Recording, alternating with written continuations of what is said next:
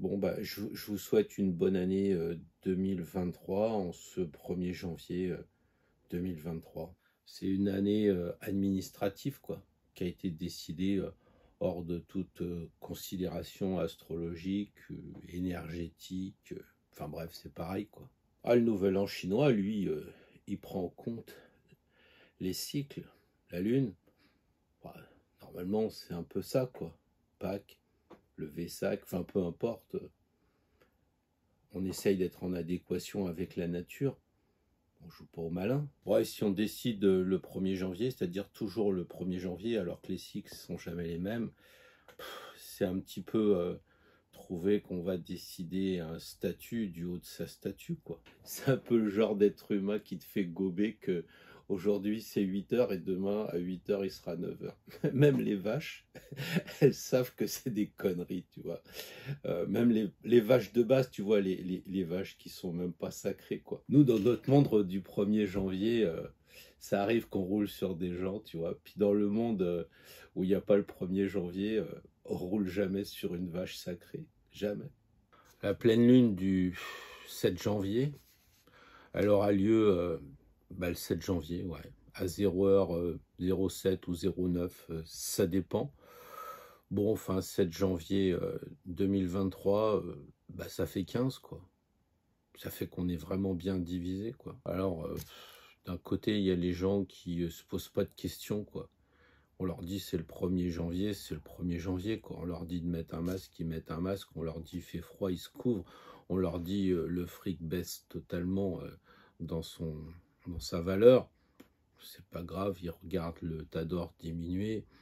Bon, c'est cool, quoi. On leur dit de faire ceci, ils font ceci. On leur dit de faire cela, ils font cela. Restez chez vous, ils restent chez vous. Enfin, voilà, quoi.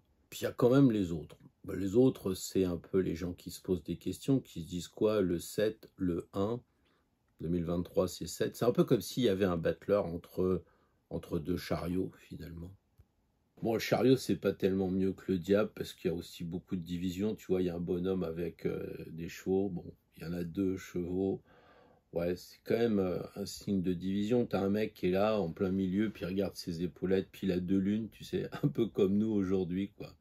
On voit que euh, le gars, il est là, il regarde à gauche, il se dit, c'était la nouvelle lune, le 23-12 2022. Bon, puis il regarde à droite, bah la nouvelle, ça sera le 7 janvier, quoi il se pose pas trop de questions, ou alors il se dit euh, c'est bizarre quand même, parce que on va terminer un cycle alors qu'il y en a un autre qui se termine quoi.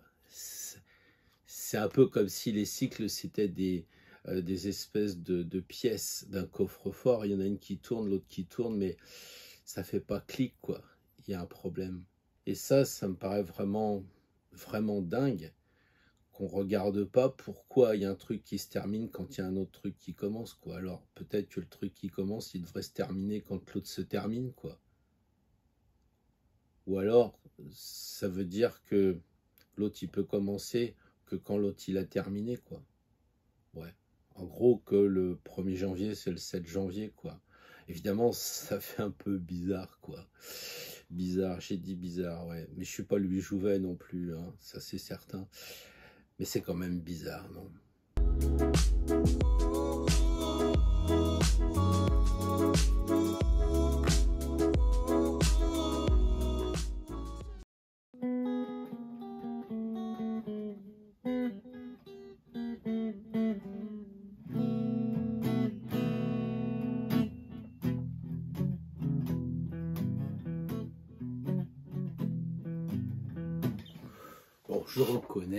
J'ai eu un peu le blues, mais je vous souhaite sincèrement, avec l'intention, puisque c'est l'intention qui compte, une très belle année 2023. J'espère que tout va bien se passer et que vos vœux vont se réaliser. En ce premier jour de 2023, il faut bien considérer que beaucoup de gens sur cette planète considèrent quand même que c'est le premier jour d'un cycle qui terminera le 31 décembre 2023 prochain. Donc on est tous d'accord qu'il y a une énergie, on parle souvent d'égrégore sur cette chaîne, il y a donc une énergie qui nous amène à dire qu'effectivement nous rentrons dans une nouvelle année, même si c'est plutôt administratif. Alors gardons cette idée et notons quand même que euh, si nous débutons un cycle, celui de la Lune, qui avait débuté au mois de décembre, le 23 décembre, va se terminer en 2023 et avec euh, cette pleine Lune, nous dire c'est le moment de récolter. Vous voyez qu'on va commencer un cycle alors qu'on n'aura pas terminé le précédent. Alors on verra ce qui se passe derrière tout ça. Ensuite, nous ferons comme à l'accoutumée un tirage, mais au lieu de le faire signe par signe, eh bien, je vous propose de faire le tirage de l'année 2023. Et pour cela, nous utiliserons le fameux tirage de l'année qui est assez célèbre. Hein. On l'utilise pour les anniversaires, pour les grands moments, déménagements, euh, changement de travail, etc. Là, on va l'utiliser pour euh, justement voir ce qui va se passer dans les 12 prochains mois. Donc, tirage astro-tarot. L'astro, bah, parce qu'on va utiliser les 12 maisons. Et puis tarot, bah, parce qu'on va trouver 12 cartes majeures que l'on placera donc sur les 12 secteurs d'activité pour voir un petit peu, j'allais dire, la température de l'année dans les domaines de l'argent, du travail, de l'amour, que sais-je encore. Et puis, euh, je me suis dit, il y a véritablement une énergie en ce début d'année, puisque on sait très bien, on en parle souvent sur cette chaîne en début d'année, que les 12 premiers mois de l'année correspondent aux 12 mois. Autrement dit, le premier, c'est-à-dire aujourd'hui, correspond à janvier. Le 2 correspond à février, etc. jusqu'à décembre, qui sera donc le 12 janvier. Et je crois que ça remonte un petit peu aux kabbalistes qui, euh, les premiers, se sont aperçus que l'énergie de la journée correspondait bien souvent à l'énergie que l'on mettait dans les 12 mois de l'année. Alors je me suis dit, et pourquoi on n'en profiterait pas? Et c'est là que j'ai pensé que finalement, nous étions dans le mois du Capricorne. Donc je souhaite un très bel anniversaire au Capricorne, et pourquoi pas bah, leur proposer ce soir, vers 20h, quelque chose comme ça, le tirage 2023 spécial Capricorne. Puis là, je me suis entendu dire, oui, mais le signe suivant, les Verseaux euh, voudraient bien avoir la suite. Et puis, évidemment, tout le monde voudrait avoir son signe pour 2023. Donc, ce que je vais proposer, ça va être d'étudier 2023 signe par signe. Mais je sais qu'il y en a certains qui disent d'accord, mais enfin, moi j'ai un ascendant, moi j'ai une lune, et puis j'ai aussi un thème natal, et j'aimerais bien faire ce tirage-là. Donc, vous le savez si vous êtes abonné à cette chaîne, que j'ai proposé une formation justement exclusivement sur ce tirage, qui est quand même assez euh, simple en apparence, mais qui peut aller plus loin avec des cartes à l'endroit, des cartes à l'envers, avec la carte qu'on remet dans le jeu et qu'on va tirer plusieurs fois, des, cartes aussi qu'on peut mélanger, le béline, le tarot, etc. Bref, les positions euh, sont infinies sur le tapis, et donc j'ai fait une formation euh, qui est actuellement en promotion jusqu'à ce que j'ai terminé, et je ne sais pas quand, les 12 signes parce que je n'ai pas encore eu le temps de tout faire. Donc vous serez avisé si vous êtes sur la liste email de cette fin de promotion et vous verrez tout ça dans le lien qui sera en description.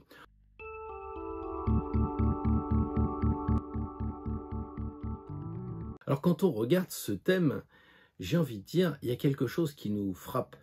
Il y a quelque chose qui dépasse euh, ce que l'on a l'habitude de faire, c'est-à-dire se précipiter dans les carrés, les planètes qui changent de signe, les oppositions, j'en passe et des meilleurs.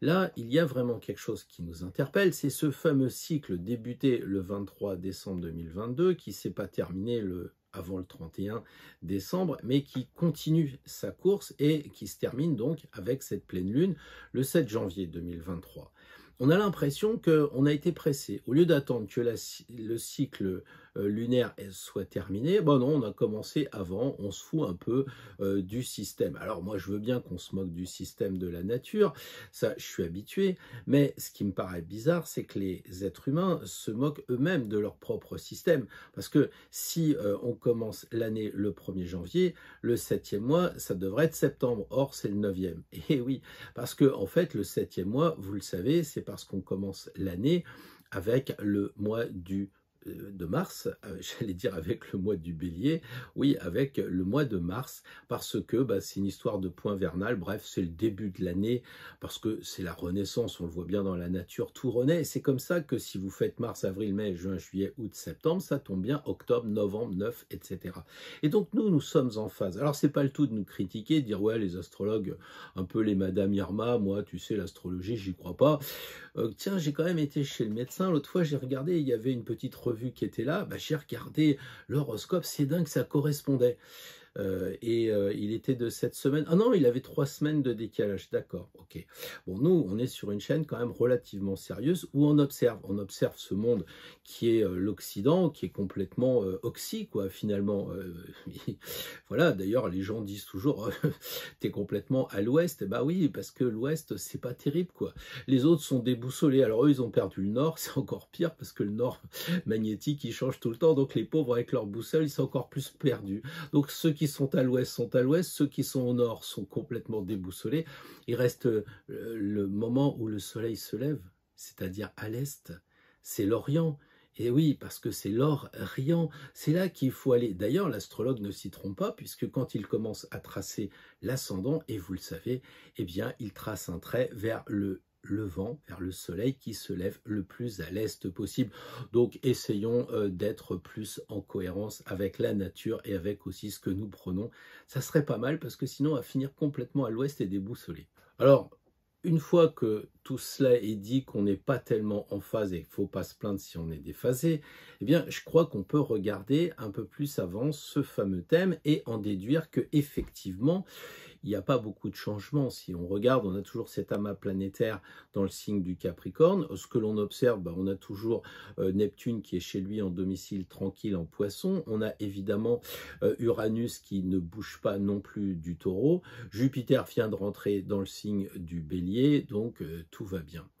Ce qui attire notre attention, c'est cet amas planétaire. Pourquoi? Parce que on avait jusqu'à présent suivi la course de, de, Mercure. Et quand je dis course, bah, vous savez que c'est le dieu de la communication. Donc avec ses petites ailes qu'il a au bout des pieds, il va communiquer tout ça. Puis là, on, s'aperçoit qu'il est arrivé près du précipice, puis qu'il vole pas. Il y a un problème. Et quel est le problème avec Mercure?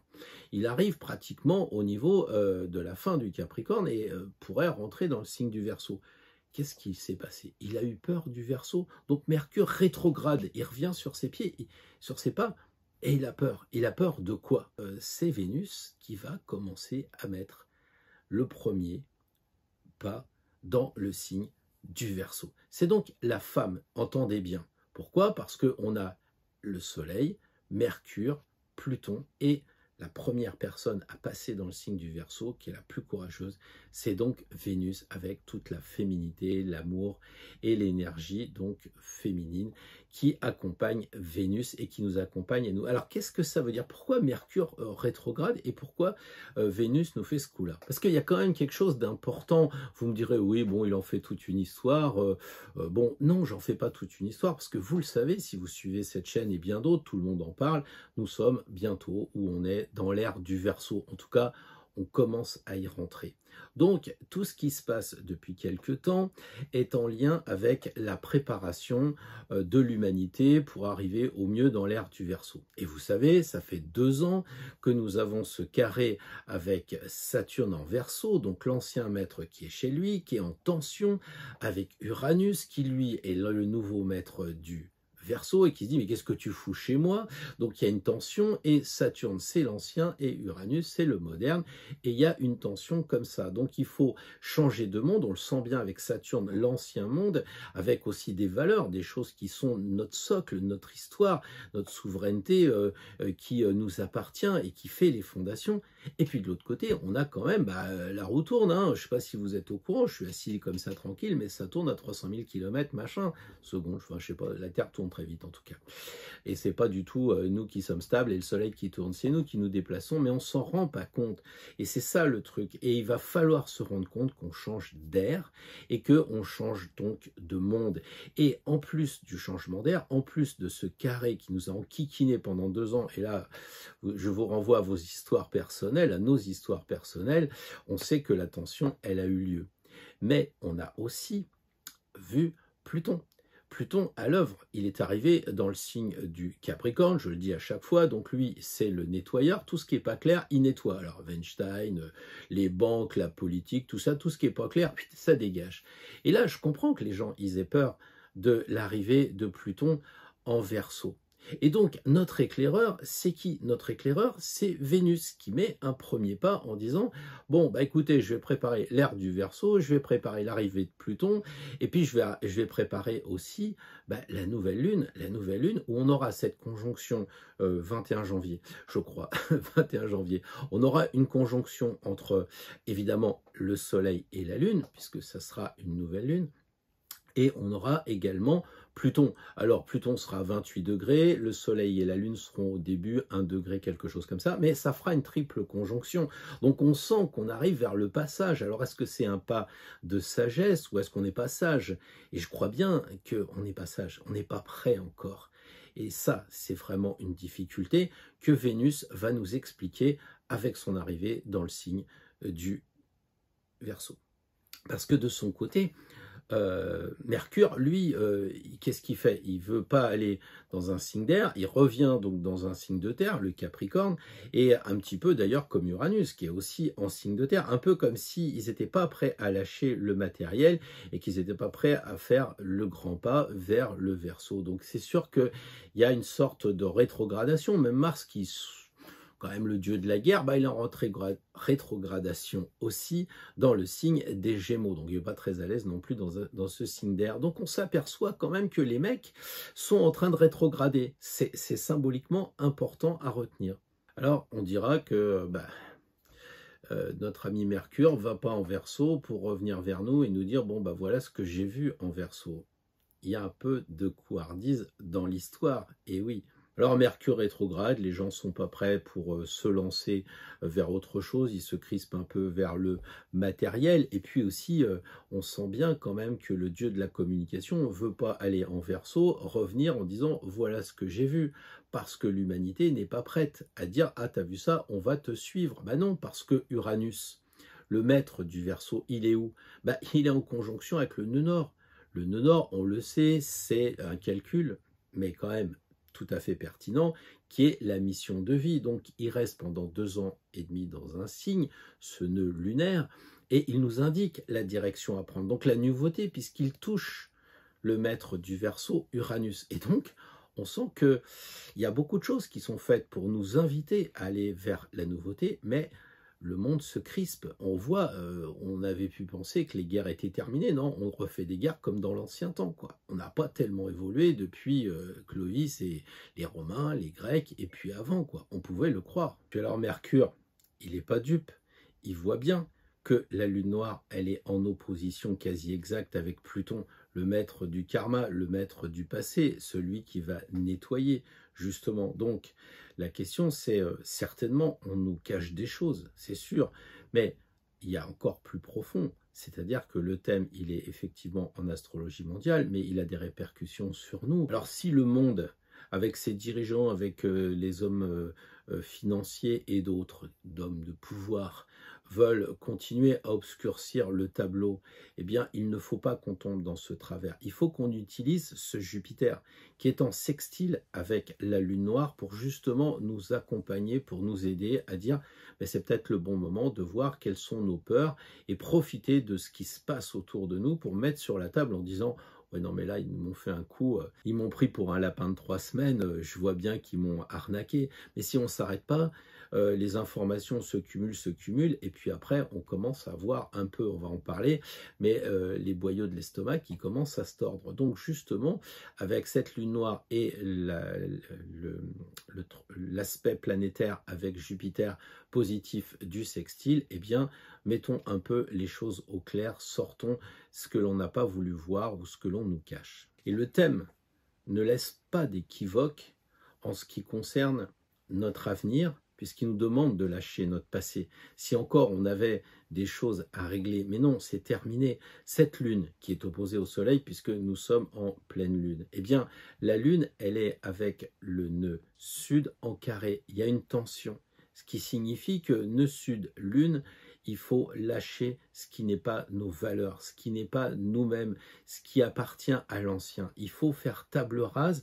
Le nœud sud, c'est ça, c'est notre passé. Et avec cette idée de lune, eh bien, les cycles, justement, il est bon de passer à autre chose. Ça, je crois que tout le monde l'a compris. On pourrait continuer l'analyse comme ça très longtemps parce que le signe euh, du scorpion, où se trouve le nœud sud, il n'est autre que régi par Pluton. Donc vous voyez, on est un peu en boucle. Des fois qu'on ne comprenne pas, on nous met des coups de stabilo un peu partout. Alors, on a donc euh, une sorte de euh, de test avec Mercure qui euh, dit bah voilà qu'est-ce qui se passe actuellement en Verseau? Moi je veux pas y aller et c'est Vénus qui est précurseur qui, qui va trouver ce qui s'y passe et qu'est-ce qu'il se passe en Verseau en ce moment?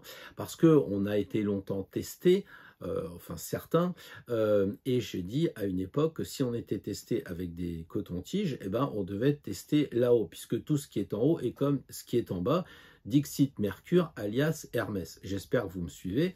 Euh, on est sur ce registre-là, on nous teste en haut pour voir eh bien, si on est prêt. Et je pense que c'est vraiment très intéressant de voir ce qui se passe en verso maintenant, euh, un peu comme si on était dans le Nevada en train de faire le LEM ou je ne sais trop quoi avant de partir sur la Lune. Bon, je ne sais pas si on y est allé ou quoi que ce soit, c'est pas le sujet. L'idée, c'est de dire avant de se lancer, eh bien, on va chausser ces euh, godasses du vieux campeur qu'on vient d'acheter et puis on va euh, les mettre un petit peu en phase avant de partir au Népal. Et eh ben c'est ça un peu ce qui se passe. Et je crois que tout ce qui va toucher le monde moderne, le monde du verso qui est critiqué un peu partout, bah finalement, il devrait dire merci beaucoup. C'est paradoxal, mais il devrait dire merci beaucoup. Parce que finalement, si les hommes politiques se sont mal comportés, euh, il vaut mieux que ce soit euh, nettoyé et purifié avant que après. C'est normal, il faut que la leçon, elle serve. Donc du coup, quand on, quand on regarde comment on nous teste, avec une certaine lucidité astrologique, les choses sont plus pareilles. Souvenez-vous d'Emmanuel Vargon qui nous a dit Oh, mais la propriété individuelle, vous pouvez vous en passer, hein. ça c'est pas très bon pour l'écologie, etc. Et vous, vous dites Mais j'ai travaillé pendant des années et des années. Bah non, c'est pas la peine, vous irez dans un appartement, fin de la maison individuelle. Après, vous allez à Davos et vous voyez toutes ces personnes qui ne sont pas élues, mais qui font le monde. C'est ça qui est assez incroyable. Enfin bon, il y a aussi, euh, ça se passe en Europe, ça se passe un peu partout en ce moment. Il y a des gens comme ça qui disent, bah, je décide pour vous. Il n'y a aucune euh, légitimité démocratique, mais ils vous disent à Davos, vous savez, euh, si vous n'avez rien à cacher, pourquoi on ne tenterait pas ce crédit euh, social à la chinoise si vous n'avez rien à cacher Et le paradoxe, c'est de croire que euh, tout ce qui se passe en Chine avec euh, ce monde dont on ne voudrait pas, bah, il est loin, heureusement, il n'existe pas. Mais imaginez Mercure. Mercure fait sa rétrogradation et il est vraiment dans la matière, il est en Capricorne, et donc c'est-à-dire l'État et tout ce qui va toucher presque les collectivités locales. Il va dans une ville, il voit des caméras partout. Ouais, c'est ça. Mercure, c'est le dieu de la communication. Il rencontre son pote Zuckerberg. On s'aperçoit qu'il met toujours un scotch sur la caméra parce que c'est un peu comme dans les magasins. Vous êtes filmé. Vous croyez quoi? Que votre téléphone n'est pas espionné ou ne pourrait pas être espionné? C'est non-stop. Vous pensez peut-être que vous savez ce que vous aimez, comme bouquin, comme aliment, comme euh, que sais-je encore. Mais en fait, Amazon le sait mieux que vous. Vous en avez même pas envie qu'il vous dit mais tiens je vais créer le désir chez toi. Et là hop vous vous précipitez et vous achetez tel et tel produit. Mais oui Amazon il sait mieux que vous ce que vous avez envie ce que vous aimez. C'est pas dingue tout ça. Et alors donc on dit oui mais alors ma vie privée euh, il y a une attente à la vie privée incroyable. Euh, on est presque en Chine finalement. Mais il y a longtemps que c'est le cas. Qui c'est qu'acheter euh, nous deux, point de vue, image du monde? Ces, choses-là qui ont été remplacées maintenant par Gala, c'est mieux. Quoi? Tel artiste fait ça? Mais il n'y a pas un petit survol d'hélicoptère au-dessus de la madrague là, de, BD, de bébé, quelque chose comme ça? Alors Mercure, il est jeune, c'est le plus jeune du zodiaque, mais il était déjà là du temps des dieux du Panthéon et bien d'autres. Donc il en a vu. Et qu'est-ce qu'il se dit? Il se dit, euh, cette histoire-là, où tout part un peu en sucette, bah, ça me rappelle euh, l'ère du lion. Et oui, puisqu'on va rentrer dans l'ère du verso, j'en ai déjà parlé, hein, de l'autre côté, on a l'ère du lion, un peu comme si, vous voyez, il y a, euh, bah, on décapitait les rois euh, du temps de la découverte d'Uranus, dans les années 1793. On décapitait, les rois, il y avait Pluton, il y avait Uranus, bah oui, euh, c'était tout ça dans le signe du lion, quoi, c'est clair. Donc ce qu'il voulait, c'était proposer le verso, c'était cette idée-là. Alors maintenant, on est en verso, et puis on se retrouve à la tête avec des rois, des gens qui sont, comme je le disais, même pas élus, ou élus avec si peu de personnes. Euh, on peut se demander si ça va durer longtemps. Et la solution, elle est où? Eh bien, on voit Vénus. Vénus, c'est quand même l'aspect arrondi, calme, loin de la guerre. D'ailleurs, on ne voit pas beaucoup de, femmes, euh, Dieu merci, j'allais dire, sur les écrans euh, revendiquer de partir à la guerre ici ou là, comme on, le voit dans ces images terribles où il y a encore que des hommes qui, à mon avis, euh, prennent pas le bon chemin. Et c'est peut-être pour ça, justement, que c'est Vénus qui arrive dans le signe du Verseau pour amener l'amour. L'amour, c'est euh, pour nous, euh, on aime la confiture, puis on aime la femme ou l'homme de sa vie. Donc il y a des degrés qu'on ne connaît pas. Donc ça veut dire que Vénus apporte l'amour dans la fraternité pour les frères, pour les sœurs, on est tous des frères, on est tous des sœurs, et Dieu le Père, et voilà, c'est normal qu'on soit tous des frères et des sœurs. Bon, je fais un petit raccourci quand même assez rapide, mais c'est l'idée quand même. C'est l'idée de dire, je dois amener cet élément de paix, d'équilibre. Vénus, c'est quand même la planète maîtresse de la balance, de l'harmonie. C'est ça qu'elle doit amener dans le signe du Verseau, qui est quand même un signe très difficile, au sens très rebelle. Commençons donc à regarder autour de nous, sans aller jusqu'en Orient ou en Chine ou ailleurs, ce qui coince en ce moment. Prenons un exemple. Vénus, c'est l'amour, donc je le disais, de son prochain, puisqu'il y a cette idée de fraternité avec le Verseau.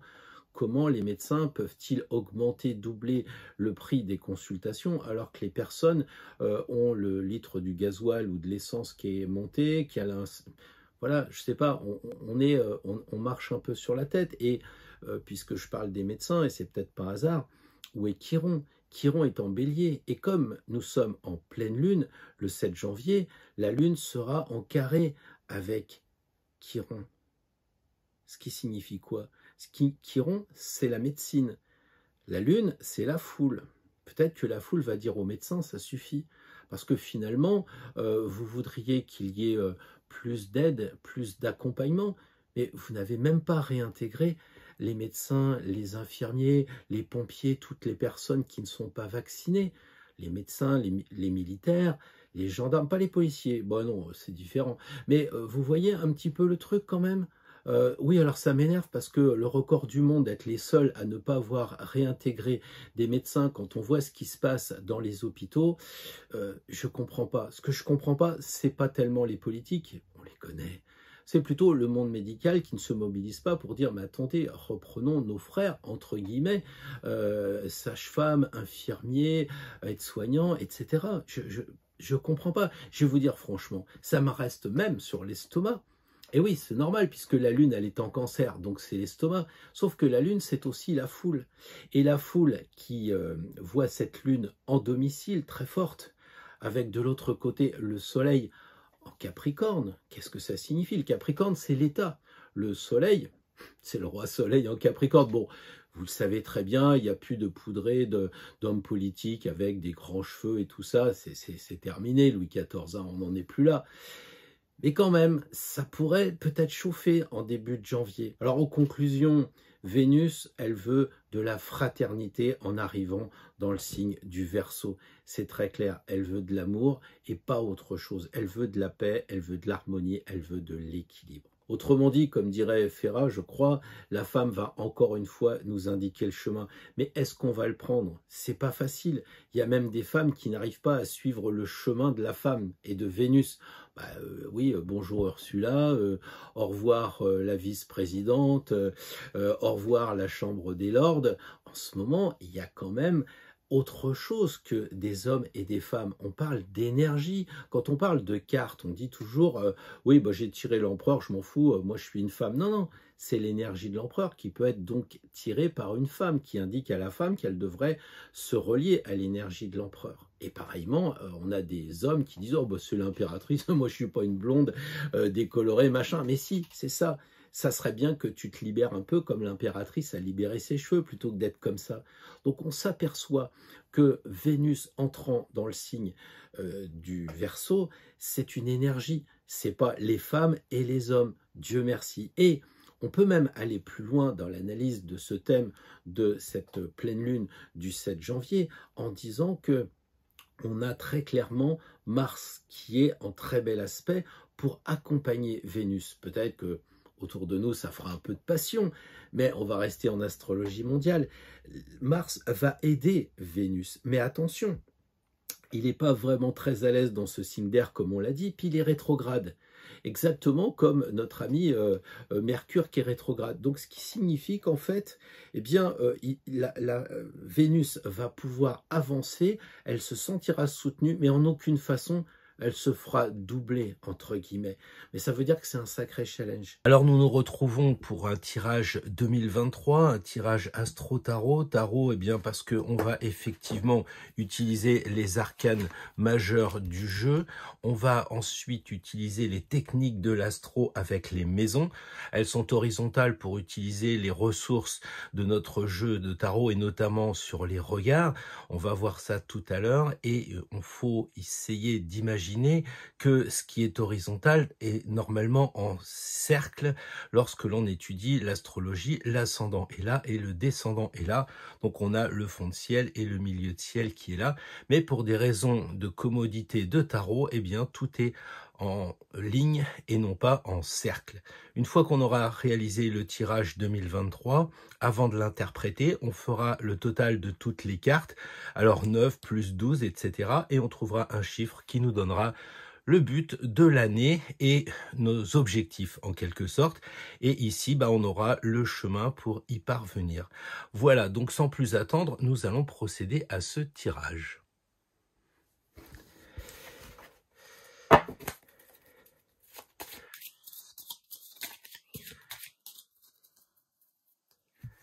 Alors, pour l'arcane 1, c'est-à-dire l'image qu'on va renvoyer, notre personnalité en fait.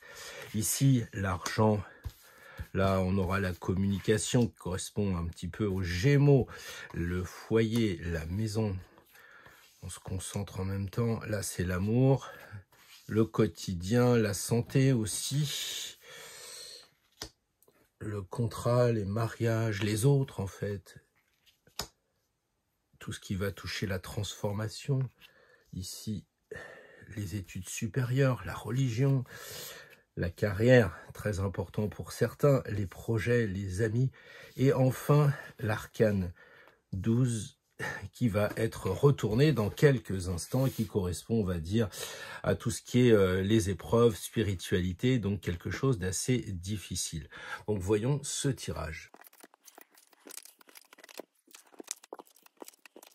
Voilà, donc si j'additionne 9 plus 10, etc., et surtout que je ne me trompe pas, j'obtiens 109, ce qui fait 10, puisqu'on fait la réduction théosophique, 9 et 1, 10, donc on arrive clairement à la route fortune, donc déjà tiré, donc certainement euh, quelque chose à souligner, au même titre que l'arcane 12, qui est dans la maison 12, c'est un clin d'œil qu'on nous envoie pour souligner à leur façon, au, monde invisible, eh bien qu'il y a quelque chose à réfléchir ici euh, avec la maison 12. Voilà, donc maintenant on va procéder au tirage à l'interprétation pardon du tirage maison par maison. Et pour pas qu'on soit euh, j'allais dire hypnotisé par tout le tout le tapis eh bien je pense qu'on va regarder les cartes les unes après les autres en voilant les autres alors, on aurait pu interpréter les cartes les unes après les autres, ça aurait fait une joyeuse ratatouille, mais euh, vous savez que moi je pense qu'il faut pas uniquement attendre la béquille, il faut euh, apprendre et comprendre. Et c'est pour ça que là, c'est un petit peu pédagogique d'avoir mis euh, justement les cartes à l'envers. Alors, retourner, pardon, pas à l'envers, mais retourner. Donc ici, on a la route fortune, et la route fortune dans son aspect positif, parce que c'est quand même notre objectif, donc ce qui visent des buts négatifs feront le hamster, continueront à ronronner, ils seront dans leur cage, ils vont tourner en rond, et ça risque d'être une vie assez fade et assez insipide. Donc évidemment, l'idée pour nous, à Astro Tarot et tous ceux qui suivent la vidéo, c'est de se dire que 2023, c'est de passer à autre chose. Avec 2023, ça fait 7, on a le chariot, il est clair que le chariot, il a envie de bouger, de se déplacer. Alors il y a des tiraillements sur le chariot, comme on le sait, avec les, chevaux qui regardent dans des directions euh, identiques, mais qui tirent dans des sens différents. On a ici aussi euh, deux animaux qui nous indiquent bah, qu'il y en a un qui veut rattraper l'autre. Donc on a un peu comme ça euh, de la tension avec peut-être l'ancien et le moderne, comme on l'a dit, mais on veut passer à autre chose. L'objectif, c'est ça, 2023, c'est passer à autre chose. Alors individuellement, si vous avez souffert de confinement et de tout le bazar qu'on a pu vivre, je comprends que euh, nous ayons tous envie de passer à autre chose, c'est très clair. Mais il y a peut-être aussi quelque chose de plus profond, à savoir qu'on a peut-être appris des choses avec euh, bah, le confinement, les informations, ce qu'on nous dit, ce qu'on nous dit pas, etc. Et on a maturé, on a pris euh, confiance en nous parce qu'on a de la défiance de l'autre côté. Et c'est ça qui est intéressant parce que ça nous donne véritablement une idée de discernement à travailler cette année. Et c'est ça, quand est-ce qu'on arrête la roue? Et j'allais dire, qui c'est qui fait tourner la roue? Quelle est la carte ici qui est au bout de la manivelle qui va nous faire tourner? Eh bien, cette carte-là, ça va être tout l'ensemble. Alors, on va le décrypter gentiment, doucement, pour, euh, comment dire, y aller progressivement, parce que c'est au début un tirage qui peut paraître complexe. Alors, 2023, l'image qu'on va donner, eh bien, ça sera quelqu'un d'assez posé, quelqu'un qui va pas se faire, à mon avis, avoir par euh, une information délirante avec euh, euh, un entourage qui est toujours en train d'essayer de nous faire des peurs et tout. On avance tranquillement, on éclaire l'année d'avant, c'est ça, puisque c'est la première carte de 2023, on éclaire l'année 2022 en se disant Bon bah j'ai eu peur, j'ai couru, j'y ai cru, mais on va pas m'avoir une deuxième fois. Et je rentre un peu dans la sagesse de l'ermite. Je marche, mais peut-être pas d'ailleurs, on ne sait pas trop, mais tranquillement. Surtout, je me sers de la leçon de l'année d'avant, et ça tombe bien parce qu'on est tout à fait sur ce registre de cette pleine lune qui se termine dans la nouvelle année, qui est donc à cheval. Et c'est ça, à mon avis, hein, que dit l'ermite. Il y a un lien entre 2022 et 2023, mais en tout état de cause, il faut ralentir le rythme. Autrement dit, c'est pas la peine de faire tourner la roue à fond comme un furieux. Voilà la première carte euh, rapidement interprétée. Voyons maintenant la maison qui correspond à l'argent, au bien, et euh, j'ai un peu l'impression qu'il y a une sorte de d'antinomie avec ce que l'on voit, c'est-à-dire euh, toute cette inflation, les problèmes de l'argent. Parce que là, on a quand même l'argent gagné, hein, ça c'est les fruits de notre travail, et puis on voit la route fortune. Donc il y a quand même le mot fortune et le mot argent. Et le but est quand même, quelque part, de faire fortune. Alors vous me direz qu'il y a la fortune symbolique, c'est-à-dire que ben, on s'enrichit par le regard des autres, par l'amour des nôtres, etc. Ok, je veux bien, mais la maison 2, elle correspond à l'enfant qui vient de naître ici et qui prend le sein de sa mère tout de suite. Et donc là, c'est quand même les biens matériels.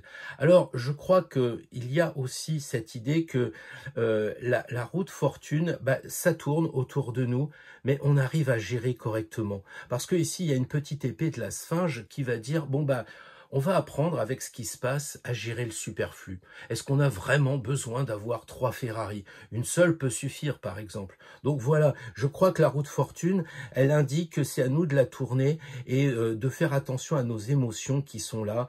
Les émotions, c'est ce qui est généré par les désirs de la publicité, etc. Et les désirs sont, à mon avis, bien loin des besoins. Donc discernons besoins et désirs et faisons le tri. Et euh, on aura, je pense, une bonne fortune cette année. On s'apercevra, comme d'ailleurs on a vu qu'on allait moins au cinéma, moins au restaurant, etc. On a vu que bon, on pouvait apprendre rapidement à se passer de plein de choses. Donc là, peut-être qu'il faut refaire tourner la roue en disant bon, attends, euh, entre je vais au resto tous les jours et puis après la pandémie, j'y vais plus du tout. Il y a peut-être quelque chose à rééquilibrer. Il faut que la roue reprenne son cycle normal et je crois qu'elle s'éloigne un petit peu des peurs de l'inflation. Parce que rappelez-vous, notre ami l'ermite, il dit euh, j'ai éclairé l'année passée, on a essayé de me faire peur, on verra bien quand même, on va s'en sortir. Moi, je crois qu'il y a vraiment, euh, par rapport à, même la nourriture, tout ce qui était bio, etc., je dis pas que c'est complètement remis en question, mais il y a euh, peut-être des gens qui ont fait fortune avec euh, trop facilement avec le bio. Donc, il y, a, y a quelque chose, la roue va tourner de ce côté-là, et je pense que c'est en bien pour la maison 2. On va passer maintenant à la maison 3, donc tout ce qui va toucher euh, les études, euh, les frères, les sœurs, comme c'est indiqué, qui correspond, je le disais, donc euh, au signe des Gémeaux. Donc les Gémeaux, ça bouge, et vous voyez qu'il y a le mat qui bouge. Alors, pour être très clair, dans un tirage, il y a deux cartes qui sont excessivement importantes. Non pas le diable, comme on pourrait le croire et comme on va le voir, mais ce qui correspond surtout à ces deux cartes qui représentent 80%, c'est le mat et évidemment l'arcane sans nom. Pourquoi? Parce que c'est des cartes qui bougent. On a vu l'ermite, bon, et de toute façon, il va en marche arrière, il est tranquille, on ne sait pas s'il avance. Là, il n'y a pas du tout de questions à se poser, il faut avancer. C'est très clair. Donc, euh, si vous regardez le tirage, j'ai envie de dire, c'est trop tard. Vous avez demandé euh, ce que 2023 va réserver. Il fallait pas le regarder parce que quand on tire les cartes, à mon avis, on suit les recommandations. On fait pas sa tambouille. Et là, le, le mat, il vous dit, eh bien, il va falloir bouger. Alors, bouger dans quoi? Dans quel domaine? Eh bien, peut-être qu'il faut se rapprocher de ses frères et ses sœurs. Donc, ça, c'est vous individuellement, si vous en avez, bien entendu. À moins que ce soit les frères et sœurs symboliques, c'est-à-dire, bah, vos amis, vos proches, puisqu'on rentre, on l'a dit, dans l'ère de la fraternité, donc du verso, et donc peut-être que vous allez avoir une vision plus large du terme frère et sœur, mais en tout cas, il va y avoir des études et de l'apprentissage. Et je crois que c'est peut-être ce que veut nous dire le math, à savoir que maintenant, on n'a plus besoin de diplôme pour être coach sur Internet, on n'a plus besoin euh, d'avoir des certificats. Vous savez, cette histoire de l'imposteur, on peut très bien apprendre des choses. Moi, j'ai acheté quelque chose très récemment sur Internet, j'ai regardé non pas le mode d'emploi qu'il y avait dedans, mais j'ai été voir le tuto. Et tout d'un coup, eh bien, ça s'est éclairé très facilement parce que j'avais l'impression d'avoir un frère qui me disait, tiens, je te déballe le truc, regarde comment ça se passe, et puis fais pas cette erreur, mais fais plutôt ça. Et ça veut dire quoi, les études, l'apprentissage? Que vous pouvez vous mettre au tarot, que vous pouvez profiter de tout ce qu'il y a sur Internet, euh, même si vous voulez faire du sport chez vous avec une chaise, j'ai vu ça, il y a vraiment toutes les possibilités. C'est-à-dire que si on était confiné, si vraiment la vie encore elle se perdurait avec euh, au moment où on enregistre cette histoire de virus chinois, etc., et que ça nous amène à nous replier sur nous, eh bien nous nous allons aller acheter, euh, pardon, chercher, euh, acheter aussi la connaissance. Et il faut peut-être pas hésiter à l'acheter la connaissance justement parce qu'il y a de plus en plus de formations qui nous permettent d'avancer dans du concret, peut-être même changer de métier, peut-être même faire pas totalement changer de métier, mais au moins grâce à la formation et grâce à l'auto-apprentissage, eh bien euh, faire un cumul d'emplois. Voilà, donc là, euh, réfléchissez bien, mais c'est une année qui va bouger. De toute façon, même si le total c'est la route fortune, euh, c'est quand même une année qui bouge parce que ça communique. Alors n'hésitez pas à parler et écouter les informations, mais de grâce en les recoupant. Il n'y a aucune station, j'allais dire radio ou télé, qui est capable de vous dire la vérité. Si vous allez d'un côté, euh, j'allais dire, de l'Asie, vous n'aurez pas du tout le même point de vue euh, que si vous êtes en Occident. Euh, allez à New Delhi, parlez de l'écologie, regardez ce qui se passe dans les rues, vous verrez que c'est pas tout à fait la même vision des choses. Donc voilà, l'idée c'est d'avoir une communication avec la réception et l'émission et se faire son idée pour justement continuer à faire le discernement. Est-ce que c'est le lapin qui va gagner? Est-ce que c'est le singe? Est-ce que ça tourne à gauche? Est-ce que ça tourne à droite? Faites votre discernement et vous avez vraiment euh, tous les outils. Vous avez, vous parlez d'études, vous avez déjà des bagages. Vous allez me dire, mais j'ai pas de diplôme dans ce domaine, mais vous avez un savoir-faire, vous avez un savoir-être qui viendra se cumuler à votre savoir. De grâce, bougez, bougez, bougez. Le foyer. Alors le foyer, la, pardon, la maison, eh bien, euh, si on peut, je crois que le foyer, il faut le rendre plus gai, plus joyeux, il faut bouger, il faut peut-être reprendre des vacances qu'on a perdues de vue, peut-être juste un week-end, vous savez, euh, avec un Airbnb, euh, moi je vois à côté de chez moi, bah, je prends une, une nuit à côté de Perpignan, je vais respirer les embruns de la mer, et puis je passe un week-end très tranquille, et on emmène donc la famille. Il faut peut-être essayer de d'aller vers la famille, c'est ça qu'il dit, puisque le chariot, il est quand même à l'arrêt, on va dire, mais il est aussi source d'action et il correspond à 2023 il correspond à cette année euh, de bouger avec euh, la victoire aussi. Donc c'est la victoire de la maison. Donc peut-être que si vous voulez acheter une maison, si vous voulez déménager, etc., le tirage général de 2023 que vous affinerez avec votre tirage personnel, eh bien il va correspondre, on va dire, à un changement, soit vous déménagez, soit vous aménagez l'intérieur, vous remettez des rideaux, des draps, etc., vous décorez, etc. Voilà, en tout cas, le foyer, ça me paraît très positif. On sent que bah, ça va être vivant, ça va bouger, c'est la victoire. Alors, les, les enfants, euh, moi je trouve que c'est une excellente carte. L'amour, c'est excellente carte. Hein. La maison Dieu, rien que le mot de Dieu est évidemment très positif. Euh, on voit bien que la tour ne s'effondre pas dans ce jeu. En tout cas, euh, on a vraiment la réponse à la question. Comment ça va se passer pour les enfants, mes créations Les enfants, c'est nos plus belles créations, mais on fait des créations aussi. On peut faire des tableaux, on peut jouer de la musique, que sais-je encore. Et là, qu'est-ce qu'on a? Les enfants, ben, ils sont là. Et vous les voyez. Alors, ils sont descendus de la tour, on le voit, hein. il y en a un qui s'échappe de la porte ici, et puis euh, bah, il va aller dans la nature, se balader, toucher des herbes comme lui, et ils vont s'amuser. Donc je dirais que si on a des enfants, eh ben amusons-les, jetons des confettis ici ou là, prenons du champomis, amusons-nous avec nos enfants. Voyez un peu le, tirage qui est quand même très positif pour l'instant. Voyons le travail, le quotidien. Eh bien, le quotidien, il va y avoir quand même du changement avec le jugement. Il va y avoir une transformation. C'est-à-dire que pour moi, le quotidien, le travail, parce que la maison 6, c'est un peu ça, hein, c'est le tous les jours, on va dire. Eh bien, avec le jugement, on arrive tout de suite à cette euh, idée euh, qu'il va y avoir encore du changement, du renouveau, avec peut-être euh, un nouveau télétravail, peut-être, moi je, je ne sais pas ce que va nous réserver l'avenir, je ne suis pas voyant, mais j'imagine quand même qu'il va y avoir du changement. On va nous demander encore de bouger un petit peu. Vous me direz, il y a le mot santé. Alors, il y a le mot santé ici, mais il y a le mot santé ici. Pour ceux qui font de l'astro, on sait que la 6, la 12, la santé, là, c'est les, problèmes de petite santé. Là, c'est plutôt les problèmes importants en termes de santé. Là, donc, il risque d'y avoir un petit peu de changement aussi au niveau de la santé. Alors, est-ce à dire qu'on va se retrouver encore avec ces histoires de, de et j'en passe et des meilleurs? C'est fort possible parce que euh, il y a euh, véritablement au niveau de la santé bah, euh, une renaissance, du changement.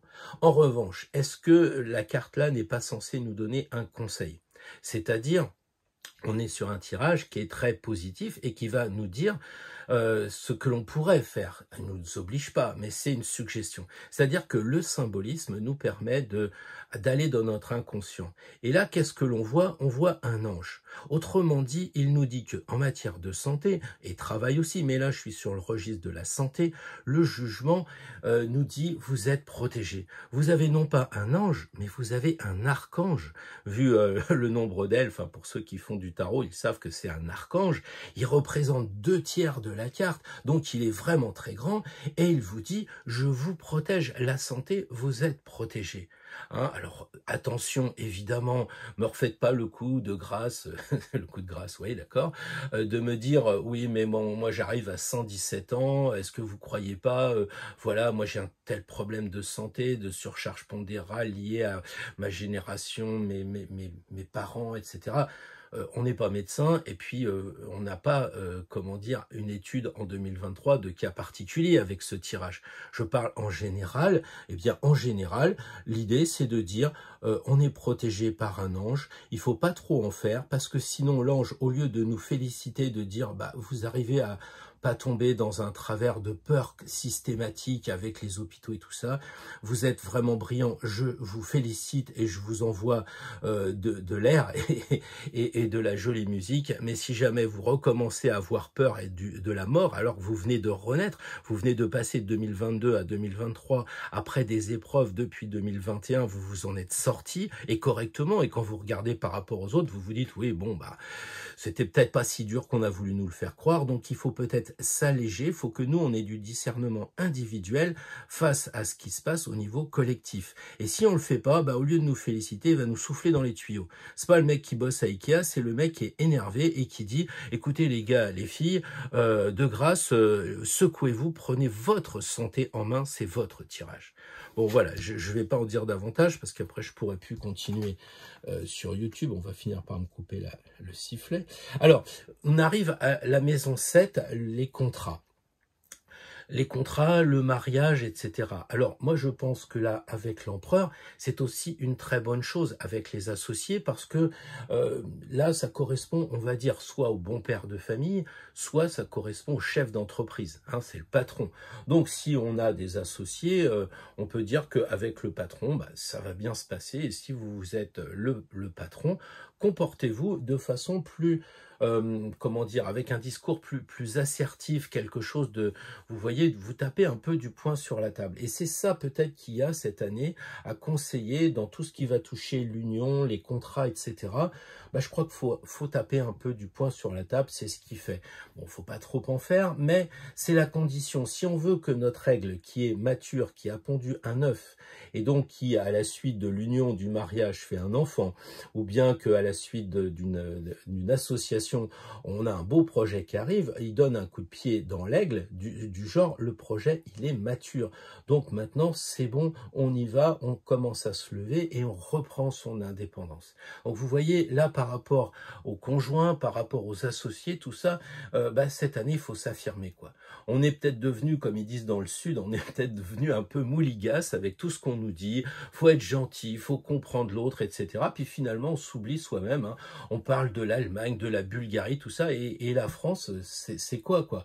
Eh ben, c'est la même chose au niveau individuel. On s'occupe de nos enfants qu'on a vus ici. On va s'occuper euh, de notre descendance. On va essayer de voir d'être bien avec nos collaborateurs et nous. Et eh ben là, euh, il y a un peu, euh, ok, on peut avoir des, collaborateurs et un conjoint, mais on n'est pas obligé de se faire bouffer. Bon, je sais que ça risque de râler dans les chaumières, on va dire, mais tu sais, depuis que tu as dit ça, maintenant, euh, c'est un peu hard. Il faut le sens de la mesure. Il n'est pas tout à fait debout et pas tout à fait assis. Alors, transformation, le soleil. Alors, je sais très bien que c'est une maison difficile parce que ça, on voit le mot mort. Bon, et les gens, euh, ils voient pas le mot sexe, alors que les gens sont tout nus, ils sont au soleil, et on pourrait dire, bah tiens, question sexe, 2023, ça va être sympa, quoi. Donc, euh, il y a cette idée quand même de se laisser aller, de se débrider. Alors, les gens, pour une fois, ne voient pas le mot mort, mais s'ils le voient, eh ben, ils peuvent se dire qu'on va avoir une belle transformation.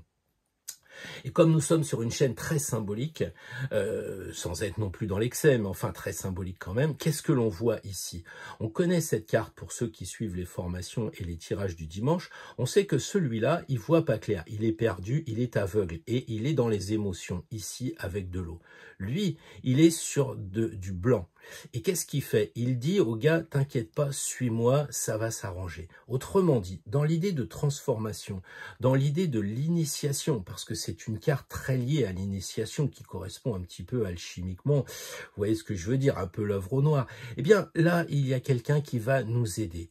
Donc, soit vous avez un parcours où vous êtes déjà avancé et vous êtes là et vous aidez les copains, D'accord Soit vous êtes ici et vous avez peur, et ben vous cherchez quelqu'un de votre âge. C'est pas un gourou là, c'est quelqu'un de votre âge, quelqu'un qui a des compétences comme vous et tout ça, et qui va vous dire bah tiens tu devrais lire tel livre ou bien tiens fais un stage, euh, il y a un week-end sur euh, la, géobiologie, que sais-je encore. C'est ça peut-être qui, qui est euh, à vous proposer et qui va vous permettre de rayonner. Donc une carte qui est très belle dans une maison qui est généralement difficile. Et peut-être qu'on peut imaginer que pour les héritages, ceux qui sont un petit peu en, difficulté, euh, vous savez, pour euh, la répartition, le notaire et tout ça, eh ben, ça pourrait s'arranger. En tout cas, bon, là, c'est très individuel, mais je crois que surtout, ce qui compte, c'est de dire qu'il va y avoir une belle transformation et la roue va tourner, justement. Parce que, bon, je n'ai pas le temps de vous parler, mais du, du diaphragme, non, du diamètre euh, du soleil par rapport à celui de la roue, qui est très intéressant. Il y a un lien entre les deux. Le soleil tourne aussi. non, il tourne pas, c'est nous qui tournons autour de, de, lui, mais on a cette impression que ça, qui se lève. Hein. on dit le lever de soleil alors qu'il bouge pas. Mais il y a cette idée de ça va tourner, ça va rayonner. Et je suis très très optimiste pour cette roue. Euh, mais encore une fois, moi je fais pas un tirage mondial. Hein. Je fais un tirage pour les personnes qui regardent, parce que là je peux pas m'adresser à tous les présidents, les décideurs, les riches du monde. Donc c'est nous qui, qui devons euh, agir et non pas réagir, mais c'est nous qui devons agir par rapport au monde qui nous entoure. Et là, il est très lumineux et on va se transformer très positivement. Alors, si on parle de voyage à l'étranger, de choses comme ça, eh bien, c'est très intéressant de, voir le battleur qui est la première carte ici, numéro 1. Donc là, on a l'impression qu'on pourrait peut-être reprendre certains voyages à l'étranger. Hein, euh, on pourrait euh, aussi peut-être reprendre des études supérieures en lien avec la religion, peut-être aller vers l'ésotérisme, peut-être, je sais pas, les mystères des cathédrales, ou bien euh, tout ce qui va toucher les études liées au chakra ou à la sophrologie, à l'hypnose, au reiki, que encore. Là, il y a vraiment euh, quelque chose à démarrer, à commencer. Alors, voyez ça pour vous euh, individuellement. Je pense que vous pouvez commencer régulièrement à vous engager dans un chemin euh, d'études. Alors, ça peut être, on l'a dit aussi tout à l'heure, on va voir avec la carrière ce qu'il en est, mais ça peut être aussi de commencer des études pour changer de métier, pas demain matin, mais de commencer à se former pour que dans quelques temps, peut-être quelques années, vous puissiez dire eh ben, je dégage de ce métier, je vais vers un autre métier. Et d'ailleurs, la vie avec ce qui se passe dans le monde hospitalier, les gens du jour au lendemain qui étaient médecins, ils sont devenus plus médecins. Donc, vous voyez, il a bien fallu qu'il y ait une reconversion. C'est peut-être ce que dit le battleur dans la maison 9. Dans la maison 10, alors cette fameuse carrière, l'ambition sociale, eh bien, on voit euh, qu'il y a l'amoureux et que la réponse à la carrière, si on se pose des questions de ce côté-là, ne peut pas se faire seul. On n'a pas tiré l'empereur, hein, on a tiré l'amoureux. Or, vous le savez, c'est une communication horizontale. Le pape, c'est vertical, là, on a l'horizontalité. Donc, si vous voulez avancer dans la carrière, si vous voulez euh, avoir des ambitions sociales, c'est-à-dire vous allez me dire, ouais, mais moi je suis retraité, euh, ma carrière. Bah oui, mais si par exemple vous êtes au Resto du Cœur ou si vous êtes dans une association de pêcheurs à la ligne ou je sais pas trop quoi, et que vous voulez faire augmenter euh, votre association, qu'on a vu ici d'ailleurs, eh bien il va falloir le faire avec les autres. Ça c'est très clair. Euh, la carrière, c'est plus comme avant, je crois, avec un grand chef, un, un, chef très très élevé, genre le pape. Non, là on a besoin des compétences des uns des autres. Donc quoi que vous fassiez, j'allais dire, dans, dans votre ambition, même si c'est l'ambition, par exemple, d'aider vos enfants. C'est pas que l'ambition de la carrière. L'ambition d'aider vos, enfants, euh, eh bien, il faut vous renseigner à droite, à gauche. Faut pas dire, ah oui, mais moi, de mon temps, on faisait comme si c'est fini. Vous voyez un peu cette idée-là. Ensuite, on arrive à Maison 11, le groupe et les amis. Pardon, je crois que là, euh, la carte est très claire. Euh, il va falloir faire un peu le ménage. Euh, il y a un peu de fourberie dans notre entourage, aux uns aux autres, des gens qui ne sont pas clairs. Hein. même des gens qui sont très avancés sur le chemin en ce moment. Je pense à toutes ces personnes qui se battent pour faire remonter la vérité sur le, le vax, sur, comment dire, même le virus, des choses comme ça. Eh bien, on voit qu'il y a dans les personnes les plus avancées ils n'ont pas toujours un bon entourage. Hein. Euh, l'enfer est, pavé de bonnes intentions. À notre niveau plus individuel, je crois que il faut regarder notre entourage. Je le sais parce que j'ai beaucoup beaucoup de mails qui me disent j'étais très déçu euh, pendant cette période de perdre des amis. Bah oui, mais c'était peut-être pas des amis. Et c'est peut-être ça qu'il faut se dire. D'accord? Donc, euh, ça m'ennuie de dire ça, mais il faut nettoyer. Il faut euh, les projets, c'est pareil. Si vos projets, ils sont euh, ambitieux, ils sont basés sur l'argent, enfin là c'est de l'or, hein. si vous, vous voulez réussir et que vous êtes un peu gripsou, si vous voulez faire des projets et que vous avez peur de, que ça aboutisse, ne les faites pas. Le diable, c'est ce qu'il dit. Il dit attention aux projets, aux amis, attention à, comment dire, à ne pas vous diviser. C'est-à-dire, c'est ça, rappelez-vous, le diable, il divise le symbole uni, le diable désunit. Et donc, ne vous faites pas avoir si vous sentez que vous vendez votre âme en disant ouais bon allez c'est bon je vais faire telle et telle chose et vous le faites à contre-cœur à mon avis ça s'effondrera vous devez être absolument centré immobile régulier et euh, aligné j'allais dire avec vous-même et avec le projet et avec vos amis. Si vos amis ne sont pas euh, au point, bah, posez-vous la question. Vous n'avez peut-être pas d'amis, quoi. Et rappelez-vous ici les frères et les sœurs. Il y a avec le mat, il faut peut-être partir, aller voir d'autres frères et sœurs non pas de sang, mais d'amitié, parce que bah, ceux qu'on a, ils ne correspondent pas euh, véritablement à notre chemin où nous en sommes. Ils étaient très bien pendant les dix dernières années, ou les amis de 30 ans, là, je sais pas quoi, et puis maintenant, bah, ça le fait plus, parce que bah, vous évoluez, et je crois que le monde évolue, et il y a des personnes qui ne veulent pas ou qui ne peuvent pas évoluer, c'est pas leur rythme à elles, donc il y a un décalage avec vous, et bah tant pis, il faut couper ces liens. Rappelez-vous, on sort les bras de derrière, on prend le licol, on l'enlève, et on reprend sa liberté, et de 15, souvenez-vous, on va le voir tout à l'heure, après 15, c'est 16, on est libéré et on fait les imbéciles en marchant sur les mains, mais on va voir ça après. On termine avec la maison 12, euh, donc qui est très importante. Pourquoi? Bah Déjà, la première chose, c'est que après la 12, c'est l'année prochaine. Donc là, on est presque, si vous voulez, à la frontière avec 2024. Euh, oui, les choses euh, passent, hein, d'accord? Et on peut se dire que la maison 12 avec la carte 12, au moment de franchir 2023, bah, ça veut dire que quand même, il faut essayer de voir le monde autrement c'est très clair. Le monde n'est pas celui qu'on nous propose. Vous savez, euh, ceux qui ont fait de la PNL, moi je me souviens le premier jour, on nous fait voir une carte et on nous dit euh, qu'est-ce que vous en pensez? Et là, on se dit non, non, il y a un problème. La Corse, elle est vraiment pas horizontale. mais vu de l'Italie, à un certain endroit, la Corse, elle est quand même horizontale. Donc c'est notre point de vue et notre et la carte n'est pas notre territoire comme on dit en PNL. Ça signifie que c'est pas parce que vous voyez les choses qu'elles sont justes et vraies. Prenez donc le temps de regarder la Corse depuis l'Italie. Voyez comment elle est posée. Et je plaisante, mais vous voyez cet autre regard, cette société où on vous dit, mais si, c'est bien. Et il y a plein de choses qui sont cachées. Qu'est-ce qu'il y a derrière là? Et cette douze, elle est super importante. La spiritualité. La spiritualité, c'est pas j'achète un bouquin chez Cultura euh, et puis euh, j'étudie les chakras et puis ça va bien le faire.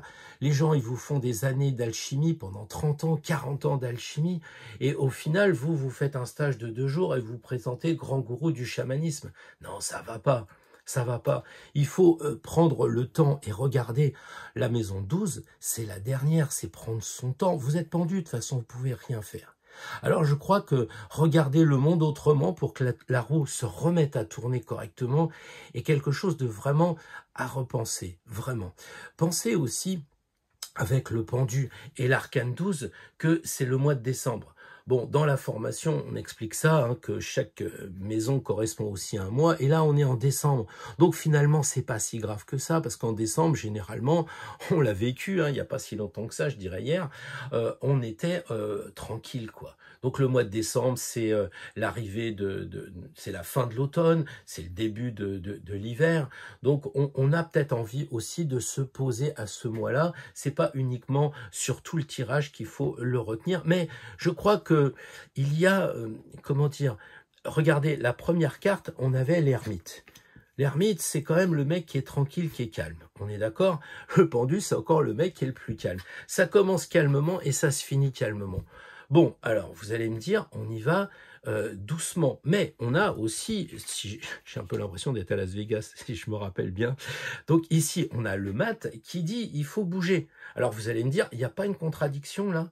Bah euh, non, parce que la communication, si vous suivez euh, des études sur votre ordinateur et que vous êtes assis, vous bougez énormément vous allez apprendre plein de choses. Vous allez dire, ah bah maintenant je suis un expert de Photoshop. C'est pas rien quand même. Dans votre besace, connaître Photoshop, c'est pas rien.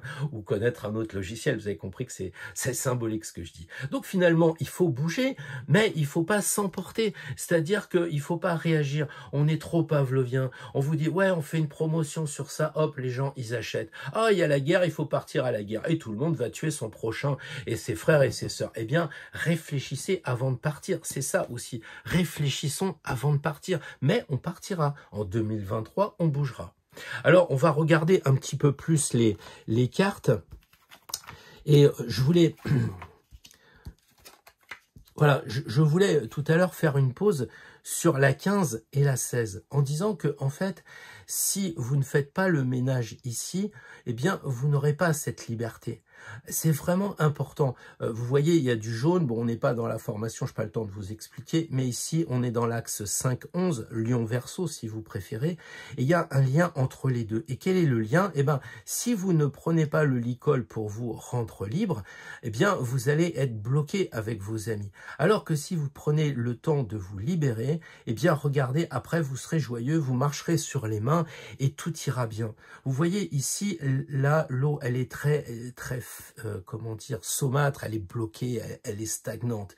Et là, c'est pas bon. Regardez les jeunes, eh ben l'eau, les émotions, il a la tête dedans.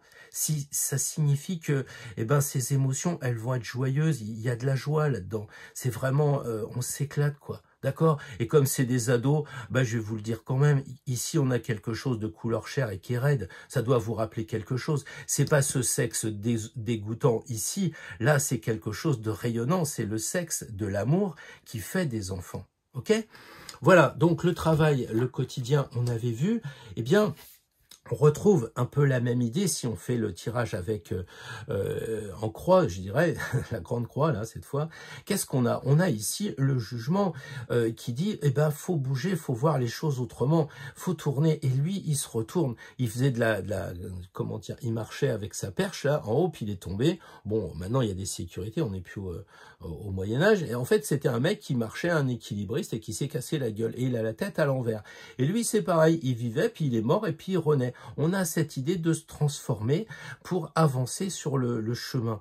D'accord? Donc, mais pour se transformer, il faut passer par l'épreuve de voir les choses autrement et d'être capable de mourir et de renaître. Donc ça, c'est vraiment très important aussi cet axe-là. On a euh, ici, je parlais tout à l'heure, des études. Ici, les études, et ici, on a des études. Alors, on va pas mesurer, euh, comme la grande musique euh, dite classique, combien elle fait de, taille. Là, on est sur euh, juste un tirage sympathique de 2023. Et s'agissant de nos études, eh bien, qu'est-ce que l'on voit? Il faut se mettre en marche pour commencer un cycle d'études. Alors, si dans votre boulot, vous vous plaisez pas, bah, euh, ne pétez pas les plombs en mettant votre démission et puis euh, voilà, euh, vous partez sans indemnité, quoi, en étant voilà.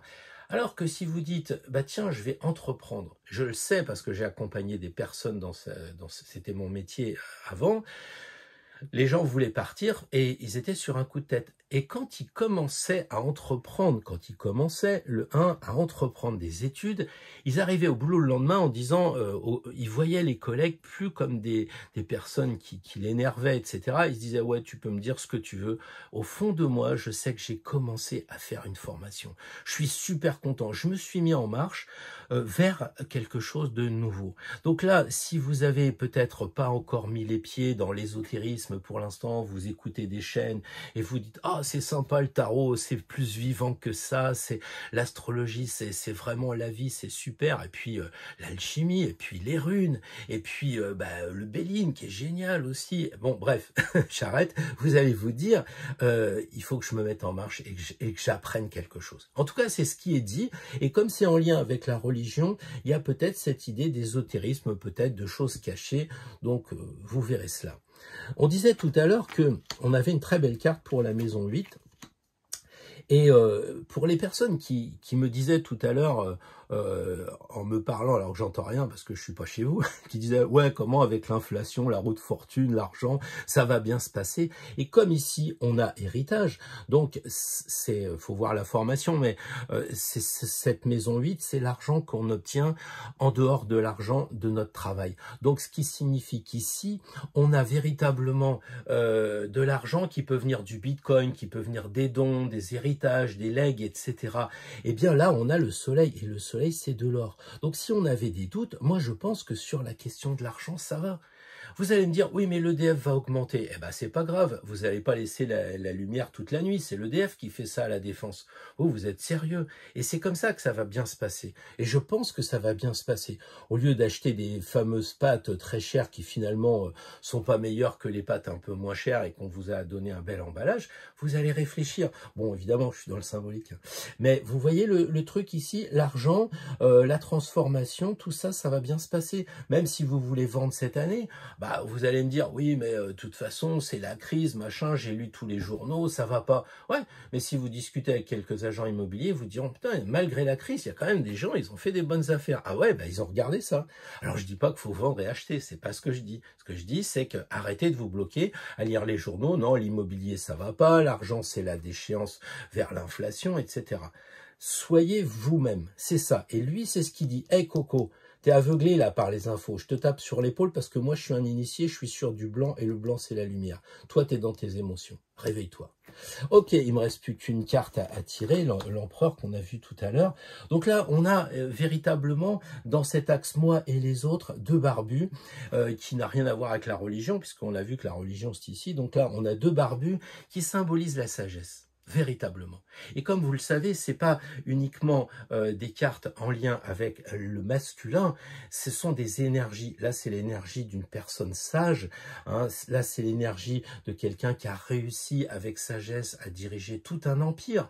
Et évidemment, symboliquement, c'est son empire sur lui. Hein. Il se fait pas avoir par ses addictions. Il n'a pas du ventre. Il a pas, voilà, il fait un minimum de marge, de sport, etc. C'est quand même un beau mec. Hein. Et là, on a vraiment moi et les autres un axe de sagesse. Ils sont, lui, il est assis, lui, il bouge pas trop.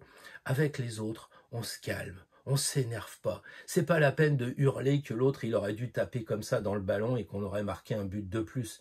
Vous êtes derrière un écran, vous pouvez rien faire. Alors de grâce, vous restez assis, vous buvez un bon verre de vin et vous vous calmez tranquille. Et moi c'est ce que je fais parce que Dieu sait s'il y en a qui a, qui a envie de s'énerver. Des fois je, parle pour moi, je fais le tirage pour moi. Non, je plaisante, mais il faut aussi être honnête que les gens qui tirent les cartes, eh bien ils sont quand même partie prenante parce que bah, ça leur parle, c'est leur énergie et c'est mon énergie qui parle. Donc vous voyez ici, il y a quand même de, bonnes choses. Hein. Vous avez ici un ange, un ange déchu, un ange déçu, mais ici vous avez un archange. Donc à charge pour vous de choisir qu'est-ce que vous voulez faire. Et on a aussi ce sentiment ici que lui, euh, il dit, bah tu sais les amis, euh, je te souffle dans les bronches, il va peut-être falloir que tu que tu les changes. Pourquoi je dis ça? Bah Parce que cette carte est celle où il y a le plus de personnages avec celle-ci. C'est un tirage où il y a énormément de personnages. Donc 3 et 3, 6, vous voyez, là on en a deux. Vous sentez, même si vous ne connaissez pas le tirage, euh, le tarot, pardon, vous voyez très bien que c'est un tirage où il y a beaucoup de monde.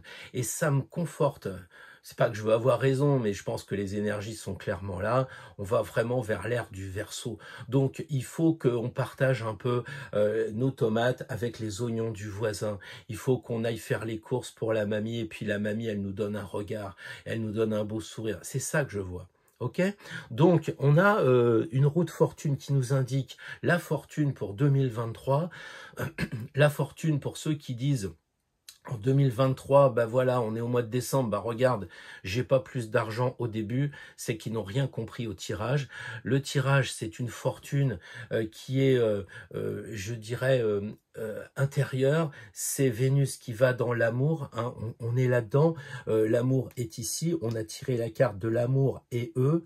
Donc, de grâce, pensons aux autres. Nous ne sommes pas seuls, on a toujours, voilà, et arrêtons aussi d'être un peu trop euh, euh, dans cette euh, animalité. Vous voyez, lui, bon, je ne vais pas rentrer dans le détail, mais il a un peu tendance à, mépriser les animaux ici, et c'est dommage parce que les animaux sont quand même présents dans le tirage. On a les chevaux, on a un chien, on a un lapin, on a un singe, et, et j'en passe.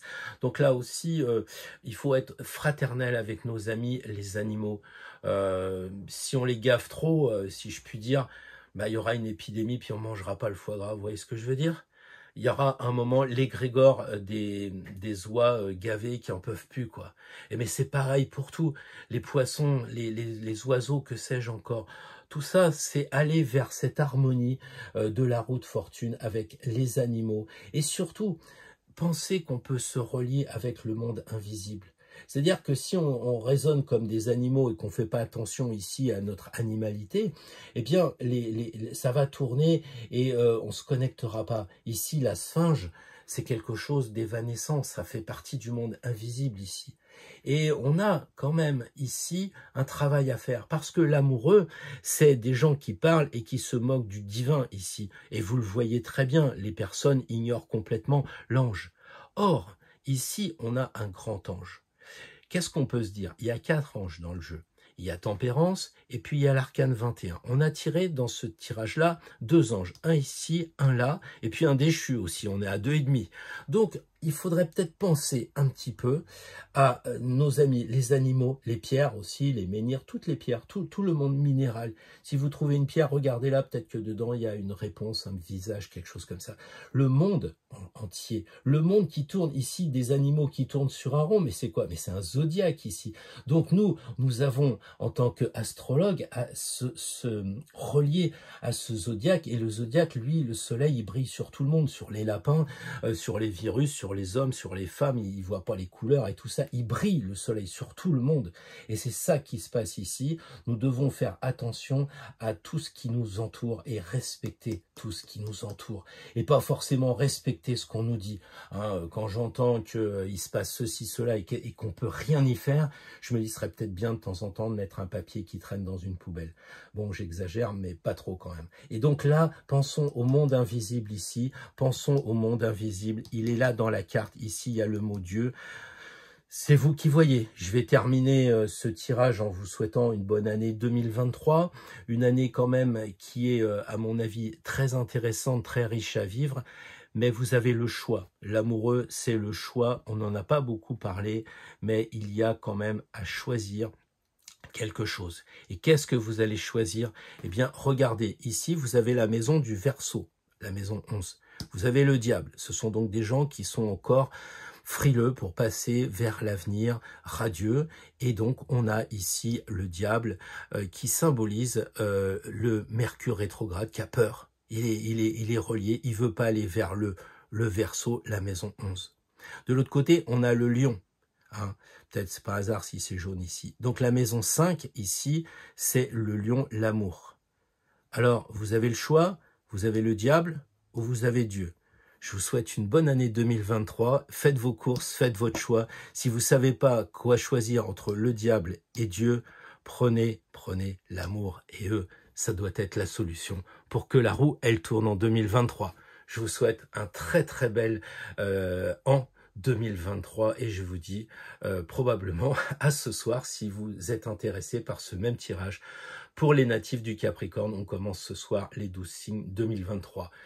Vivez bien, profitez bien, vous faites pas avoir par ce qu'on vous dit autour de vous, dans le monde et euh, dans vos amis. Faites-vous votre, euh, propre euh, idée parce que ici, pour que la elle tourne, ça dépendra de votre discernement et de votre sagesse pour passer à 2024 qui risquerait bien d'être autrement parce que le pendu va se dépendre en 2024.